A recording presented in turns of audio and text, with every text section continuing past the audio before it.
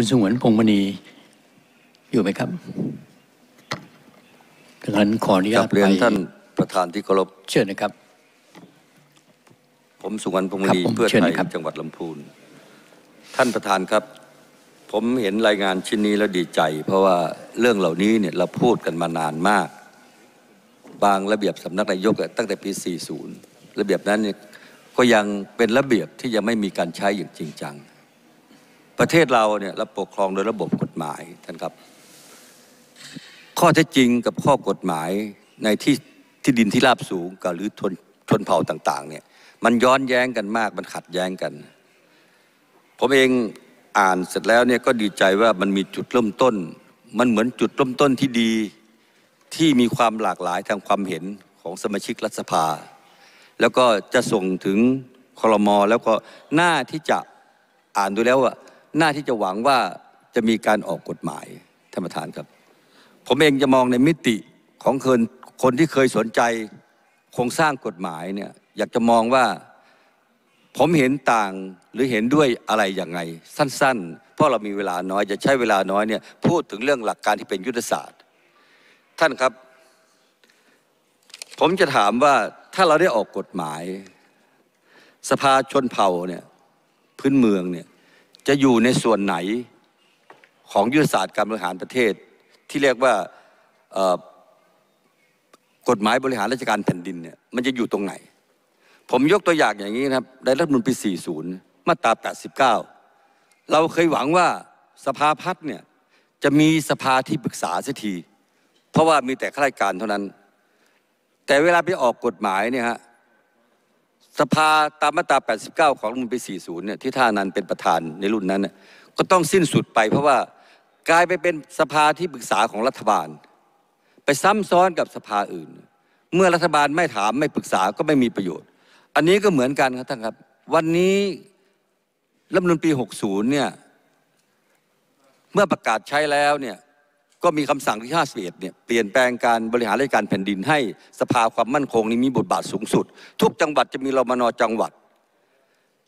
ถ้าหากว่าสภาชุมชนเนี่ยไม่มีช่องไม่มีเวทีในจังหวัด แล้วจะบริหารอะไร ท่านครับ ผมจะพูดเรื่องกฎหมายที่เขียนไว้เพราะว่ามันเหมือนข้อสรุปของคณะกรรมการ ในมาตรา 18 วงเล็บ 8 หวังว่าจะเป็นนกลไกในการแสวงหาความร่วมมือ เราสร้างสภาขึ้นมา เพื่อหวังว่าจะเป็นนกลไกในการแสวงหาความร่วมมือเนี่ยไม่คุ้มท่าน ต้องเปิดช่องทางให้การบริหารราชการแผ่นดินในระดับจังหวัดเนี่ยมีช่องให้สภาชนเผ่าเนี่ยเข้าไปอยู่ในนั้นได้ด้วย มันถึงจะมีมีความสามารถในการใช้ก็ประมาณ วันนี้เรามีหมวดว่าด้วยการบริหารก็ประมาณแบบ บูรณาการท่านครับ หลายกระทรวงเนี่ยที่ไปสร้างปัญหาให้กับข้างบน หรือชนเผ่าต่างๆเนี่ยคุณก็มีวิธีการที่จะบูรณาการกันอยู่แล้ว วันนี้นะครับ มีการย้อนแย้งหมดเลยนะ ผมจะเอาอะไรมาอธิบายครับ สิทธิพลเมืองมีไหนสำหรับคนกลุ่มนี้ หลายคนก็พูดแล้วนะสิทธิชุมชนล่ะไม่มีเลย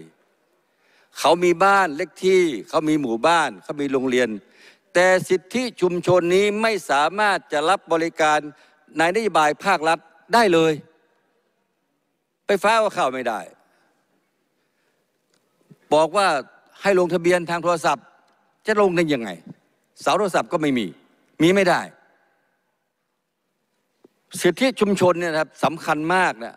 มีในปี 40 มาตรา 40 ชุมชนท้องถิ่นดั้งเดิมมีสิทธิ์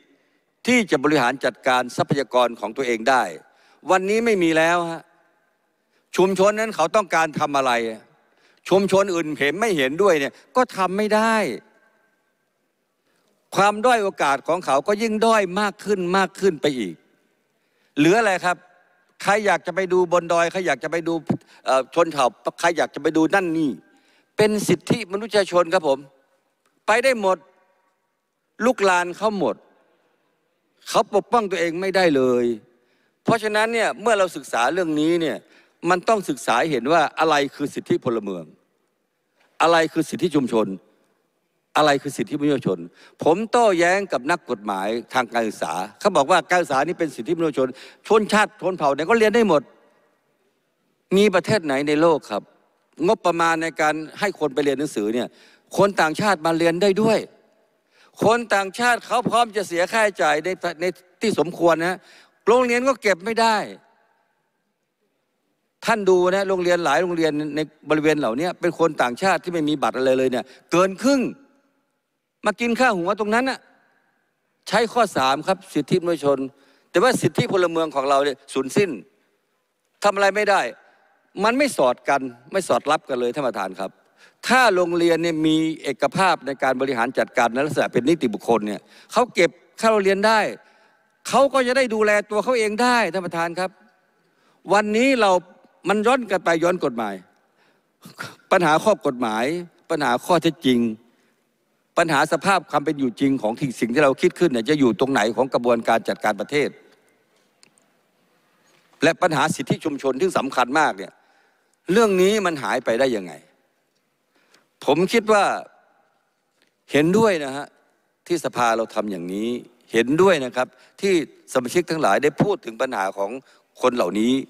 ท่านครับปัญหาที่ดินเนี่ยเป็นรากเหง้าของสิทธิชุมชน สิทธิพลเมืองอย่างยิ่งเลยครับปัญหาการเรียนหนังสือ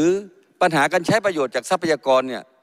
ท่านครับทำไมข้าราชการประจำซึ่งสอบไปเป็นเนี่ย จึงมีอำนาจมากมายโดยอ้างคำว่ารักชาติทำลายชาติ แล้วทำให้ชุมชนในในป่าเขาเนี่ยเสียหายหมดเลย เขาอยู่มาเป็นพันปี ย้ายไปย้ายมาเป็นพันปี ไม่มีสิทธิอะไรเลย ท่านครับ เราสัมปทานให้คนอื่นได้ แต่เราไม่กล้าที่จะให้สัมปทานกับหมู่บ้าน เราให้ทุกอย่างกับชุมชนปกติ เราให้ทุกอย่างกับคนทั่วโลกที่มีความเป็นมนุษย์เท่ากัน แต่เราไม่เคยให้อะไรเลยกับชนเผ่าของเรา ผมขอพูดเท่านี้แหละครับ ขอบพระคุณมากครับ ขอบคุณนะครับ